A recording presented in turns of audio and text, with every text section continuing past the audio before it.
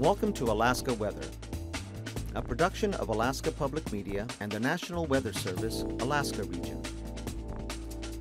Produced and broadcast daily from the studios of KAKM, Alaska Weather provides complete forecasts, public, marine, and aviation for all of Alaska. Alaska Weather is made possible by the following sponsors.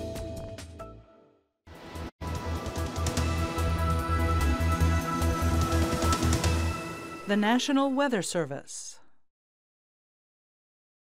Good evening, everyone. I'm meteorologist Dave Snider with the National Weather Service. It's the 27th of October, and as always, we encourage you to stay up to date with your local weather information. You can do that easily by calling the Alaska Weather Information Line, 1 800 472 0391. You can always find us online. Weather.gov slash Alaska is the easiest place to go, and then once you click on the map, you'll be taken to your nearest weather forecast office, whether that be Fairbanks, Juneau, or here in Anchorage. Now, uh, once you get to that point, if you scroll down just a little bit, you'll be able to find the Alaska uh, TV weather page there. It has all of the maps from what you'll see tonight and a link to this show. If you're running a little late and don't catch it on the on the television this evening, you can always check the YouTube broadcast and subscribe to that because what that will let you do is get a notification on your computer or on your mobile device that the show is ready to watch. And that could happen as early as about 7 o'clock or so some evenings, maybe a little bit later toward 8 o'clock on others there. But either way, you can get that alert and set that up so it meets your needs no matter what part of Alaska you're watching from. Uh, now, if you can't find what you need, you have a question about what you see, or just have some general weather information you'd like to share, anytime you like, david.snider at noaa.gov, and I'm happy to serve you. Here's a look at what's going on across Alaska tonight. Across northern sections of southeast, a flood advisory is now posted we're expecting that some places could see as little as one inch of rain. That doesn't sound so bad, but others could see as much as six to seven. And those will be places like Pelican, maybe even in downtown Juneau, uh, where this atmospheric river, a very narrow channel of very high density moisture, is working right toward northern parts of southeast.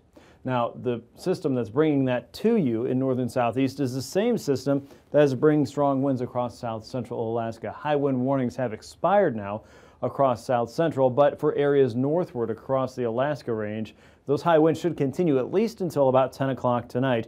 Uh, we'll see if uh, that expires as we get into the overnight hours, but don't be surprised for breezy and gusty conditions to continue into the early morning. However, until we get through that 10 o'clock hour, at least southerly winds gusting to occasionally as high as 70 miles per hour. That could be possible. That includes the Denali area, Deltana and Tanana Flats region, all the way across the eastern Alaska range and passes. Now, look up north. You see areas of yellow for the central and eastern interior from the Yukon Flats all the way to the south-facing slopes of the Brooks Range, toward Bettles, down toward Tanana, and including the Middle Tanana Valley and the Fairbanks area. Fairbanks, you could be and will be looking at pockets of freezing rain mixing in with snow. By the time you get to the end of Friday, you might see as much as one to two inches of new snow there. Probably looking forward to that after a blistering hot day with temperatures in the 40s, thanks to those strong and gusty winds moving over the mountains. Now, for the White Mountains, you could see another two to four inches of snow in those areas, and in some cases, maybe as much as four to eight inches of snow for some regions a little bit um, north and west of the uh, middle Tanana Valley. Out west, we have a winter storm warning that should expire later tonight. Storm totals there could reach as much as six to eight inches. And we're also expecting a new winter storm warning here to uh, affect places in the lower and middle Yukon as well as the upper Kuskokwim around McGrath. Six to eight inches of snow mixed in with some freezing rain, generally of about a quarter inch or less. It's possible there. And for the northwest coast, from Barrow down toward Atqasuk and westward Wainwright all the way down to Point Hope. A winter weather advisory is in effect for you because of strong winds. Easterlies 35 to 40 miles per hour will blow and drift any snow around the region. On top of it, still snowing. So we're not going to reach blizzard conditions just yet. However, uh, conditions may be tricky to travel. And so make sure you have a plan if you're traveling there and make sure you're tracking your loved ones and friends. Make sure they get to where they need to be and make sure you know who's coming your way. So you're not out uh, struggling to find people out there in the blowing snow. Here's a look at the weather pattern right now. Here's the atmospheric river. You can see the very bright band of clouds moving north and east into northern sections of southeast. That will happen tonight and tomorrow with heavier rainfall really affecting northern parts of southeast in the next 24 to 48 hours. You can see the clearing taking place behind that front as it moves across northern parts of the Gulf and then a lot of moisture, a lot of wind, and a lot of heat moving northward across the interior here. So once again, Fairbanks today with winds coming off of the Alaska range back in the mid 40s at least today because of that downsloping wind and warming effect taking place there. Up north, we've got easterly winds wrapping into low pressure here in the overall weather system. That's creating the blowing snow for you. And out west, we've got a lot of cold air coming in behind this weather system, creating the potential for that snow to fall across the upper Kuskokwim, across the lower and middle Yukon valleys, and of course across northwestern Alaska, and eventually the central and northern interior. So just a whole lot going on with this powerful low. Now, as you've been tracking this for the last several days, this low pressure system here at 983 millibars was previously in the 930 range out here across the southern Bering. That's a big storm, and so no wonder it's filling in with all the wind rushing in across south central Alaska today. Gusts in the hillside region were in the 16, 70 mile an hour range there, and a lot of customers lost power as a result of that on the hillside. Rain is piling in now across the northern Gulf and into parts of southeastern Alaska. Again, watch for that to continue. A frontal boundary here across the Yukon Valley and just north is keeping that cold air locked in place, and it will stay there. But as that warm and wet air creeps in underneath, as snow falls down through that, it melts and then freezes on contact. That's going to be an issue for the middle Tanana Valley uh, maybe at least in part, not in a severe way, but it could be noticeable if you step on that at the wrong time. So be careful and watch your step. With light amounts of freezing rain possible there, there's a better chance of seeing some heavier amounts of freezing rain, maybe as much as a quarter inch, as you get a little bit further west into the Yukon and Kuskokwim Delta regions. Up north, you can see the tight packing of the pressure gradients across the Chukchi coast and across the Beaufort seacoast. It will be in this area where the snow is falling and beginning to blow that we have that winter weather advisory. And once again, you can see the arrows crossed here indicating the threat for blowing snow across the Chukchi coast. We'll be watching for pockets of freezing rain through the Denali region again in the Deltana and Tanana Flats area. The main concern is going to be that strong and gusty wind through tonight, but uh, don't be surprised to run into a little bit of mixed precipitation there as conditions stay right there on that fringe of winter weather and summer weather. That shoulder season stuff can be kind of tricky. Rain will continue across central and northern parts of southeast and the northern Gulf. We may start to see a little bit of a break in the wet and cloudy weather briefly across south central. The next surge will come later on in the weekend. And colder air across the Bering Sea is pushing its way southward, but remember that overall flow in the atmosphere is from the west and southwest, so it's not making a huge advance quickly to the south. It's getting more of a, a gentle nudge southward from that high pressure system across eastern Siberia. As we look into Saturday, low pressure is pushing into northwestern Alaska, the Kotzebue Sound region, seeing another push for snow. And again, storm totals there could reach upwards of uh, six to eight inches just by tonight. So we'll be watching that. And we're watching for that mixed precipitation across the northern Yukon and into the uh, central and eastern sections of the Yukon Valley up around Galena. Again, there could be an opportunity for some freezing rain there. Snow showers will continue across the eastern and northern interior, and that pressure gradient up around the northern coast is still there. Uh, areas of blowing and perhaps even drifting snow, but the winds will be the main concern that could reduce visibility at times. Winds will blow from the east generally about 35 to 40 miles per hour. Now, as you're looking southeast, you can still see a trough of low pressure uh, lingering across the region. The winds are going to come up across southeast over the next couple days, on top of it being uh, generally uh, dreary and wet for sure. But one thing to notice here is that by Saturday, high pressure is setting in, and that should really help to remove a large threat for that heavier rainfall. In fact, that atmospheric river has just about fizzled out and pushed to the east. But with the trough of low pressure here and uh, high pressure centers close to home, there's certainly an opportunity for the winds to remain a little bit on the stronger and gusty side, especially for some of the inner channels and in that channel terrain. So keep that in mind as you're making your Saturday plans, even as the rain may be winding down in parts of southeast. Now, even to an untrained eye, of course, uh, many of you are certainly not that, but uh, certainly looking out west, you will see that we have another low pressure system here across the central and eastern chain. And that tight pressure gradient once again is building in from Kodiak Island to the Alaska Peninsula all the way down to the central chain. That strong southerly flow once again is bringing in warm air and wet air to southwestern Alaska, and it's starting to mix in with that colder air, and that's where we get into that mixed precipitation across the lower and middle Yukon Valley. So an awful lot going on for the next several days. Make sure you're tracking the latest watches, warnings, and advisories for your community at weather.gov/alaska. On to temperatures tonight, it's going to be pretty mild in southeast, low to mid 40s there, south central in the mid uh, to upper 30s and lower 40s all the way down to Kodiak Island. Uh, the central interior, upper 20s to low 30s. That's after a very mild day today. And teens and 20s for the North Slope, 29 in Nome, Southwest, lower to mid 30s for you, Bristol Bay, also in the mid 30s, uh, down toward Dutch Harbor and Unalaska, 40 degrees, St. Paul and St. George near 32 with a high of 43 tomorrow.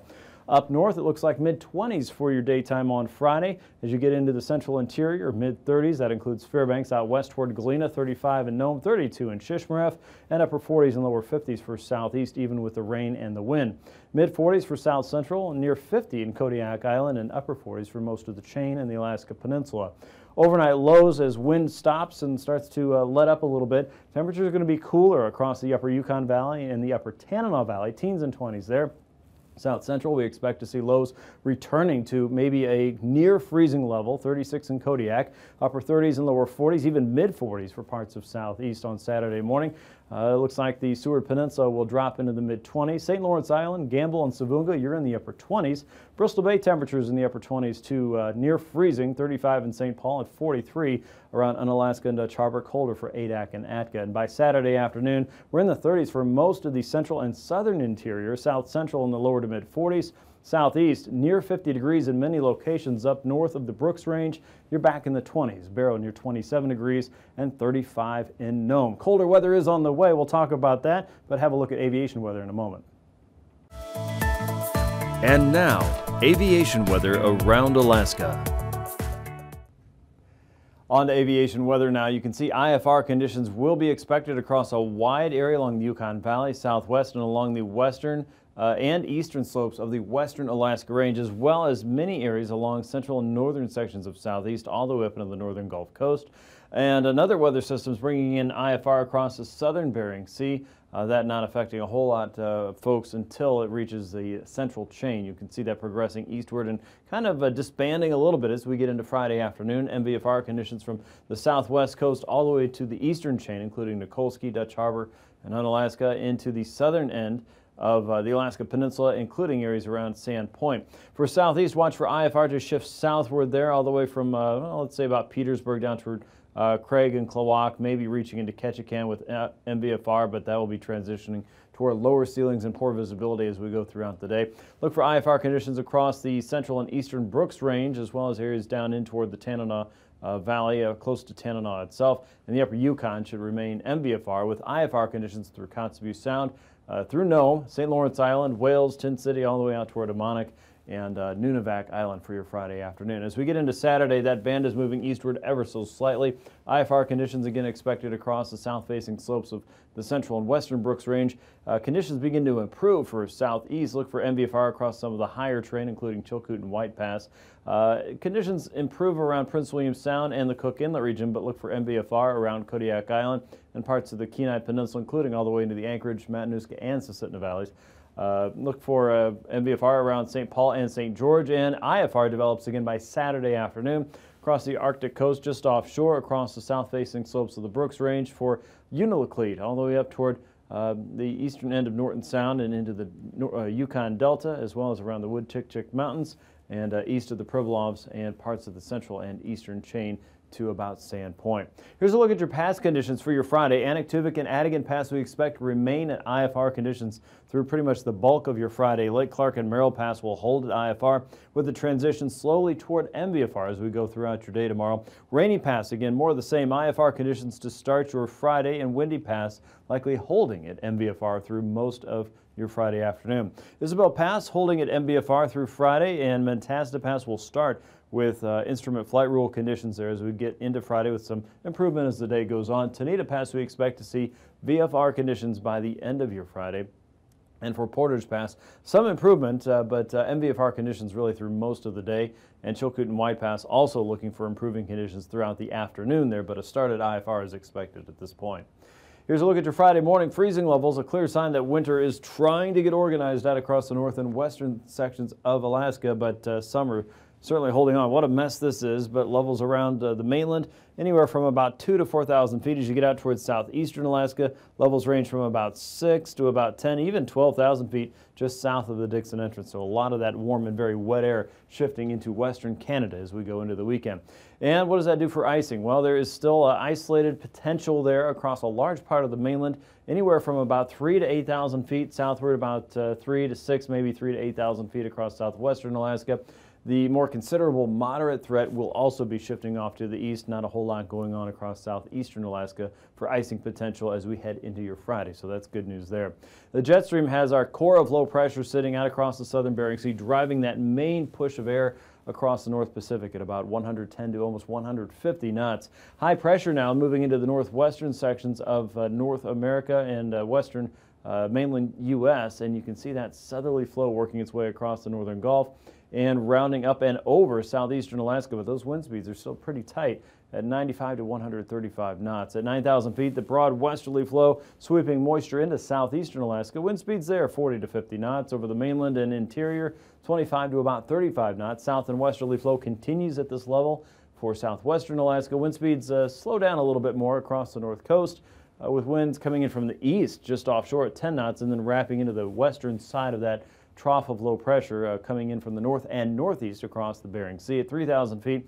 Very similar pattern here with high pressure trying to work its way into the mix around the Gulf of Alaska and slowing the winds down ever so slightly, but still guiding those in from west to east for southeastern Alaska, slowing down across south central and southwestern Alaska, 10 to 25 there. The interior looking at winds around 15 knots on the south side of the trough, but easterlies pick up here. Notice the wind speeds picking up around the Chukchi coast and then descending through the Bering at about 25 to 30. Turbulence potential will focus on areas across the southern coast and across southwestern Alaska through the central and western chain. Uh, most of those areas are still going to be looking at uh, uh, levels below about 5 to 6,000 feet, and we'll be watching for a brief area of isolated severe across the central and southern parts of southeast below 6,000 feet. Let's look at your aviation forecast. We'll be back with the rest of your marine weather and an update on the sea ice edge here in just a few minutes. Stay tuned.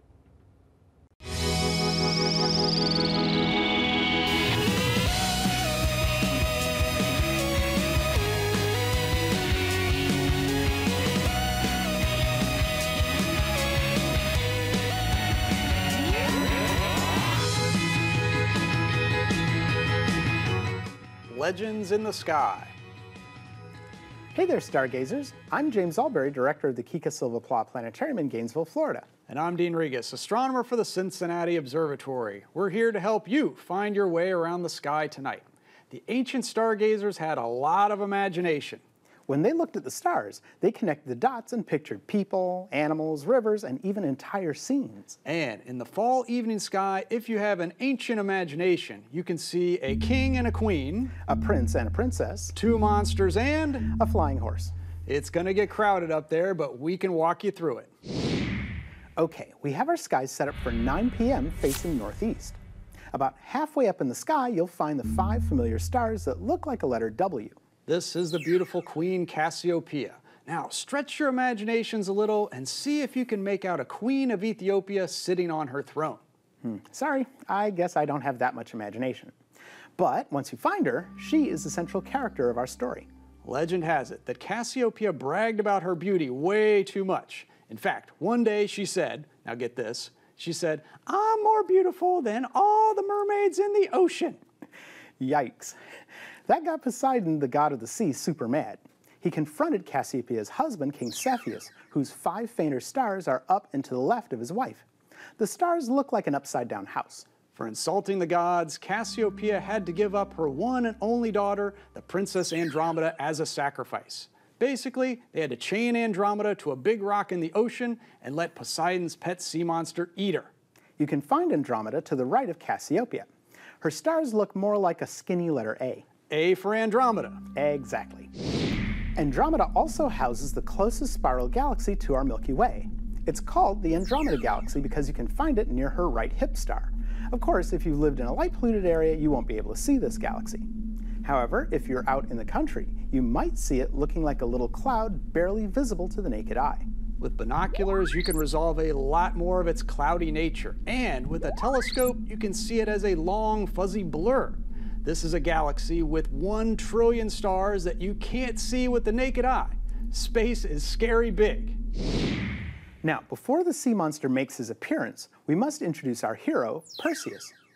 As the story goes, Perseus, that very morning, slew the wicked Gorgon Medusa. She's the one with snakes for hair and turns you to stone with just one look. Looking at her reflection in his shield, Perseus chopped off her head, then put her head in a bag for safekeeping. Later that afternoon, as he was flying through the air on his winged sandals, with the infamous bag at his side, Perseus happened to spy a young maiden in distress. Our Princess Andromeda. Now, we're facing east at 10 p.m. and Perseus appears on the scene. You can find him as a squiggle of stars below Andromeda's feet. The sea monster, a constellation named Cetus, is just rising in the east-southeast. I think his stars look like a recliner chair. That doesn't seem so scary. Anyway, Perseus yells to Andromeda, close your eyes. Then he closes his eyes, reaches into the bag, and pulls out Medusa's severed head. Shows it to the sea monster, who takes one look at it and poof, turns to stone. Perseus saves the day. Wow, what a starry story. A king, a queen, a prince, and princess, two monsters, and oops, we forgot the flying horse. Oh yeah, Pegasus was supposedly born from this epic battle, as Perseus held out Medusa's head. Now, this is gross. Some of her blood fell into the water and turned magically into Pegasus the flying horse. Oh, come on, that's too weird. Agreed, but that's the kind of imagination we're dealing with when we learn about the constellations and when you keep looking up.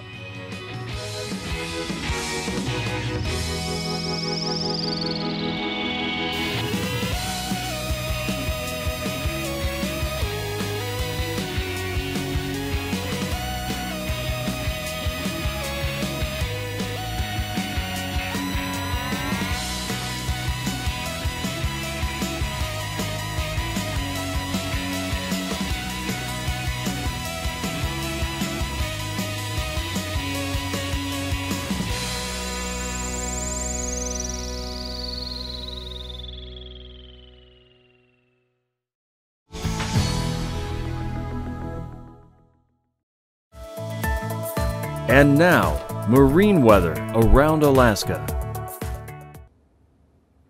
Time now for a quick check of your sea ice update, and ice is rapidly growing across the Beaufort Seacoast. You can see new ice and concentrations above 80% off the central and eastern Beaufort Seacoast, stretching all the way to Barrow, and uh, lesser amounts of new ice along the Chukchi coast. Uh, the thought is that even with some of the winds that we're seeing across the Beaufort, that ice will continue to expand rapidly across the region. The only caveat to that would be is if a lot of warm air moves up there suddenly, but that would probably be a short-term event. So uh, for the very latest information, you can head to weather.gov slash Anchorage slash ice for the latest forecast and the details through the remainder of the season. Here's a look at the forecast for southeast. As we get into tomorrow, gales will be found across the inside waters there, 35 to 40 knots. A general flow from the south and southeast with gusts to 45, even 50 knots there as you head into the Lynn Canal and through Stevens Passage.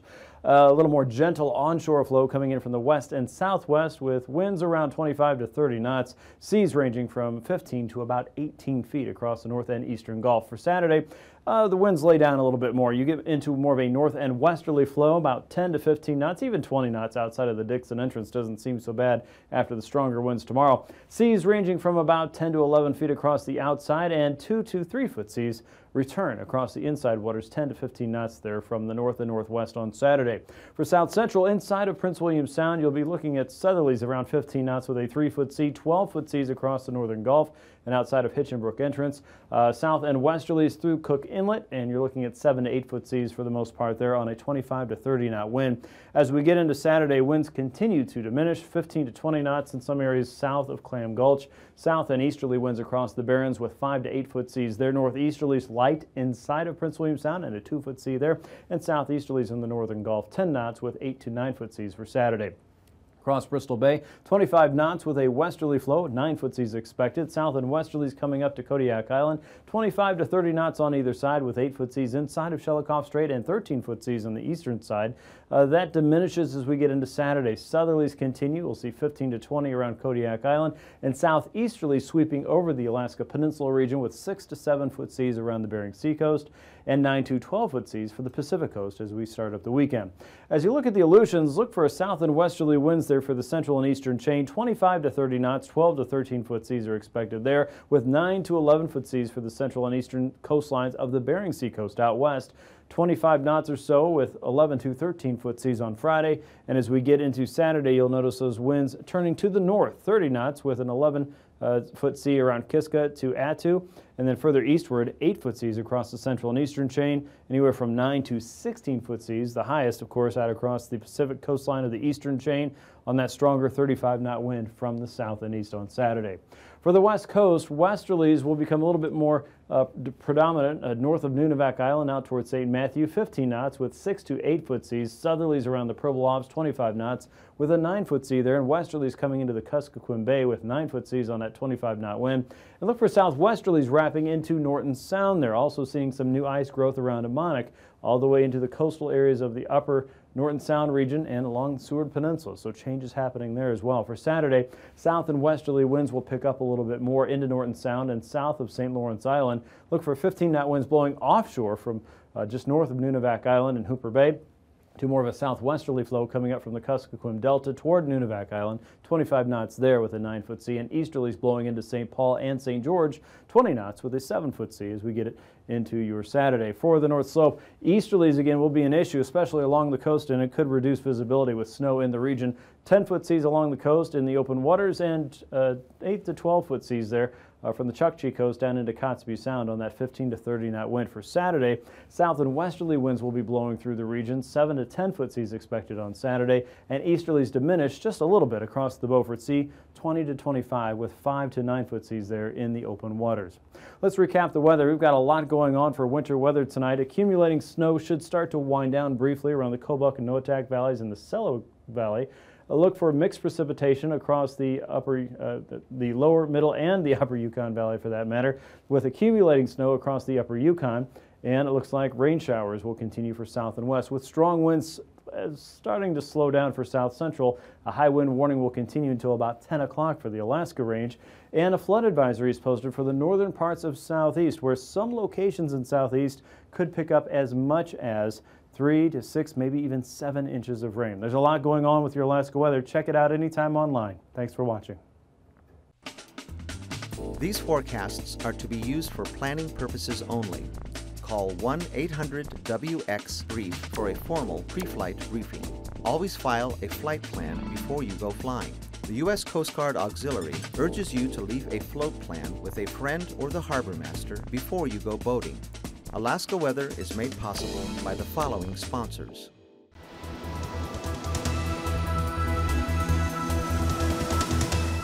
The National Weather Service.